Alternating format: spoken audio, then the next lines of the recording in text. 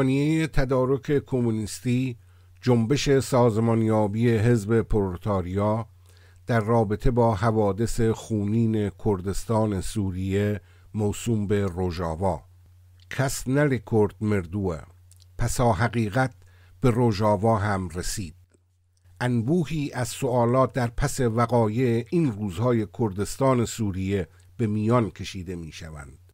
آنچه امروز در روژاوا می گذرد حلقه ای از زنجیره وقایعی است که استیزاه ترامپ به همان اندازه جزء دیگری از این زنجیره است که جنگ نفت کشا در خلیج فارس و سرنگونی پهپاد آمریکایی توسط ایران و حمله به آرامکو توسط حوسی ها و وقایع هنگ کنگ و سفر عمران خان به ایران و قرارداد تبادل بانکی بین ترکیه و روسیه و سفر پوتین به عربستان و و و. به این زنجیره وقایع می توان مجموعه کامل دیگری از تحولات را نیز افزود. بدون تردید در میان این سلسله وقایع چاشنی انفجاری وقایع روژاوا را اعلام خروج نیروهای آمریکایی از سوریه تشکیل می‌داد. اما اطلاق این تحول به عنوان علت وقایع امروز روژاوا تنها تقلیل واقعه است و این تقلیل واقعه خود نیز بخشی از شطرنج خونی نیست که اکنون نه فقط در خاورمیانه بلکه در کل جهان معاصر در جریان است. شطرنجی که موضوع آن چیزی جز تجدید آرایش جهان سرمایهداری نیست.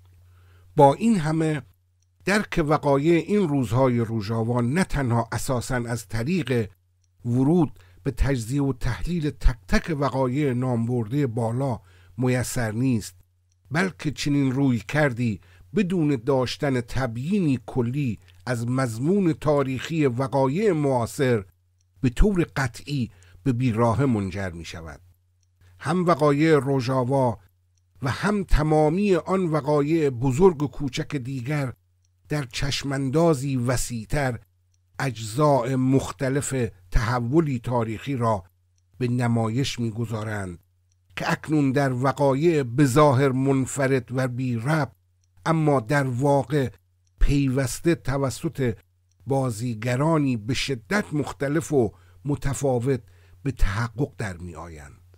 در این ابعاد تاریخی اما تمام این بازیگران در حال ایفای نقشی برای تحقق تحولی واحدند.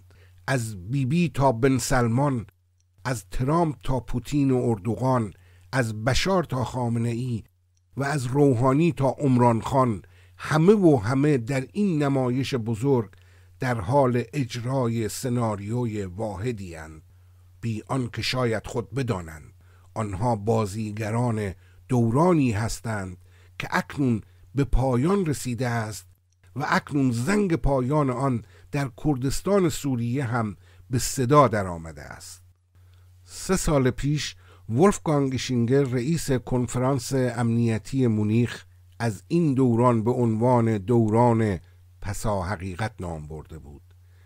حقیقت نزد او لیبرالیسم بود و پایان این لیبرالیسم بود که پایان حقیقت نام می گرفت این بیان دیگری از تحولی مادی بود که در سطح جهانی با پایان هژمونی بلوک ترانساتلانتیک به رهبری آمریکا بر جهان و آشکار شدن خطوط اصلی نظم جهانی پسا پسا جنگ سردی به وقوع می پیوست و ظهور ترامپ در آمریکا دیگر آن را غیر قابل انکار می نمود این نظم پسا جنگ سردی نظم پس از فروپاشی دیوار برلین و اردوگاه سوسیالیستی بود که خود اکنون به پایان می رسید نظمی که با سلطه مطلق بلوک ترانس آتلانتیک بر تمام ساختارهای اقتصادی، حقوقی، فرهنگی، نظامی و دیپلماتیک خصلت نمایی می‌شد. نظمی که در آن نه فقط ناتو و ارتشای آن بلکه حتی سازمان ملل و تمام ملحقات آن از بازوهای تحقق این سلطه به حساب می آمدن. نوید آغاز این نظم با شعار نظم نوین جهانی جورج بوش پدر در جریان لشکرکشی نخست به عراق به جهانیان داده شد و سوت پایان آن را اعلام خروج نیروهای آمریکایی از سوریه از سوی ترامپ و این بار برداشتن گام های عملی برای انجام این وعده به صدا درآورد و برای کردستان آغاز این دوران مقارن بود با اعلام کردستان عراق به عنوان منطقه پرواز ممنوع برای ارتش صدام حسین و تولد نوزاد ناقص الخلقی به نام اقلیم کردستان. نوزادی که به مسابه زالویی از پیکر خونین خاورمیانه تغذیه کرد.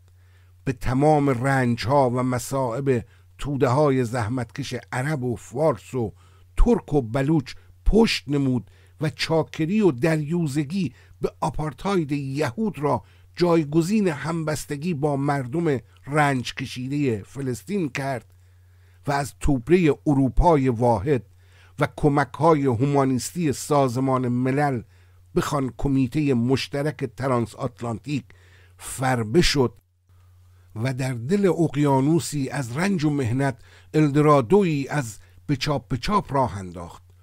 های آمریکایی بر سر مردمان عراق و افغانستان و سپس لیبی و سوریه برای کردایتی ماعده های آسمانی بودند.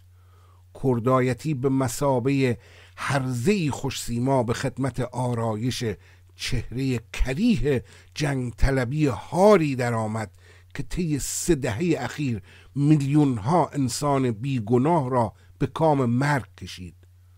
کردایتی این فرصت طلایی را در اختیار بربرهای اروپا و آمریکای امپریالیست قرار می‌داد که از تریبونهای خیش حقانیت دخالتگری هومانیستی خود را به گوش جهانیان جار بزنند.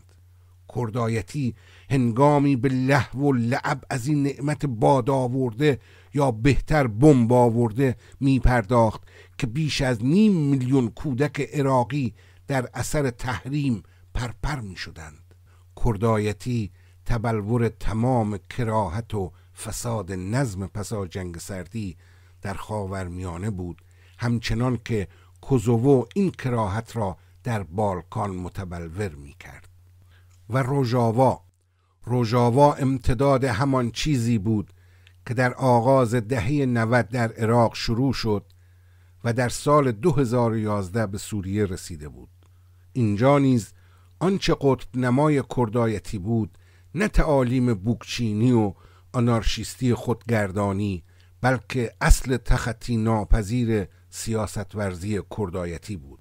خودگردانی بوکچینی برگ انجیری بیش برای پوشاندن عورت کریه کردایتی نبود. روژاوا نیز همان الگویی از سیاست ورزی را برمیگزید که رهبران اقلیم برگزیده بودند.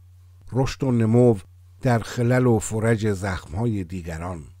حیات زالووار بر متن پیکری بیمار و چاکری قدرت مسلط بر مناسبات جهانی.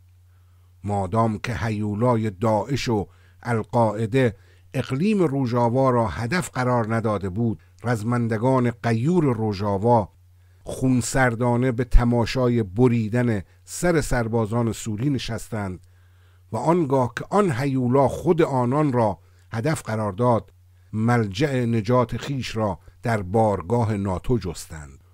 کردایتی روژاوا نیز درست به مانند کردایتی اقلیم پیش و بیش از هر چیز بند ناف خود را با توده های عرب سوریه برید تا به عنوان طفل عزیز دردانه جامعه جهانی پذیرفته شود و از آن هم بیشتر هنگامی که از سوی این جامعه جهانی مورد ستایش قرار گرفت همه و هر گونه راه تجدید آرایش نظم سیاسی و اجتماعی در سوریه را بست و از جامعه ای که خود می توانست در آن به مسابه اهرمی در جهت بهبود معیشت کل آن حرکت کند چاهای نفت آن را به تسخیر درآورد.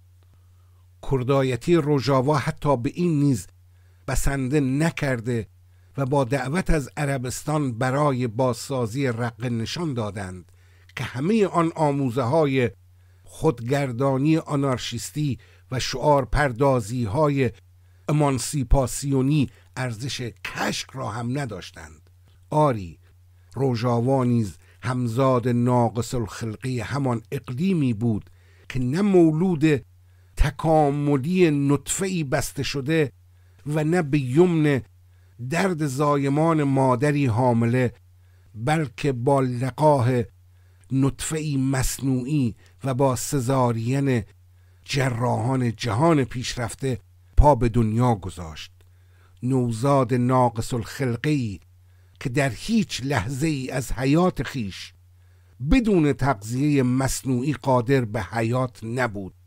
نه در اقلیم و نه در روژاوا و عجیب آن که هم در اقلیم و هم در روژاوا این نوزاد ناقص الخلقه دچار این توهم نیز شد که اکنون به جوان برنایی بدل شده است که می‌تواند یک بار برای همیشه بند ناف خود را از محیط پیرامون خیش قطع و افتخار تاریخی ثبت یک کردستان مستقل را برای همیشه به نام خود ثبت کند. تمام حقانیت کردایتی بر میل سرکوفته یک دولت کردستان مستقل استوار است. در یک چیز نمی‌توان دول کهنکار امپریالیست فرانسه و انگلیس را سرزنش کرد.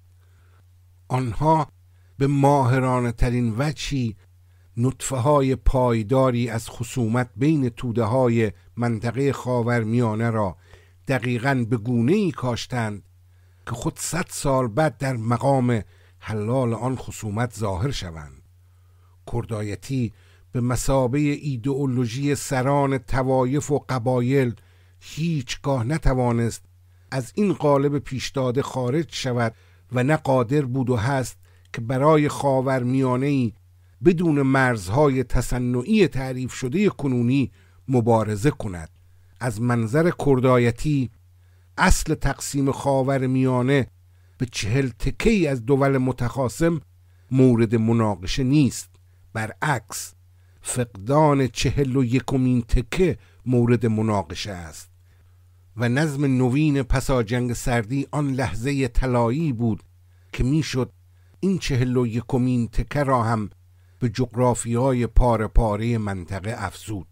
بهای آن هرچه می‌خواهد باشد حتی پاکسازی قومی و گسترش قلمرو کردستان آینده که هم اقلیم با آن دست زد و هم رژاوا بخت بد کردایتی در آن بود که این دوران به پایان رسید. معلوم شد که آن دور تاریخی که در آغاز دهه 90 قرن گذشته آغاز شده و به عنوان پایان تاریخ اعلام شده بود تنها میان پرده کوتاهی بیش نبود. آن نوزاد ناقص الخلقه همراه با این دوران به دنیا آمد و همراه با آن نیز از جهان رخت بربست.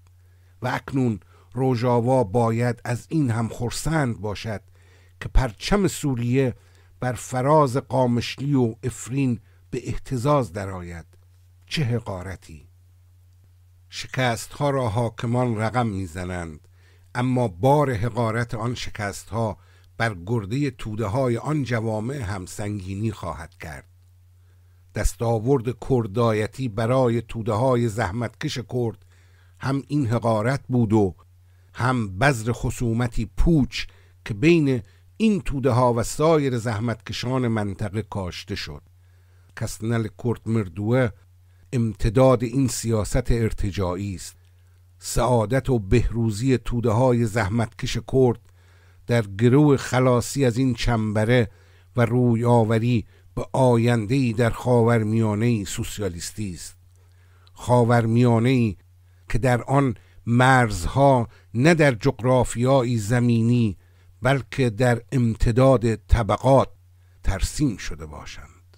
زنده باد وحدت توده های کار و زحمت خاورمیانه. زنده باد خاورمیانه سوسیالیستی تدارک کمونیستی جنبش برای سازمانیابی حزب پرولتاریا.